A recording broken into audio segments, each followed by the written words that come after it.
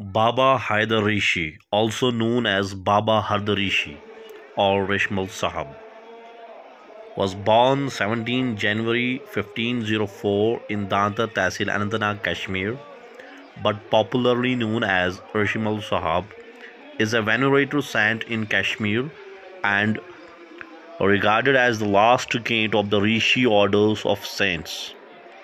His shrine is visited by both Hindus and Muslims alike Reshi Moul Sahib was born in the family of a blacksmith, but he possessed and exhibited miraculous powers from childhood. A prolific scholar and a spiritual preacher, Rishi Mir Sahib adhered to the Rishi sect of mystics.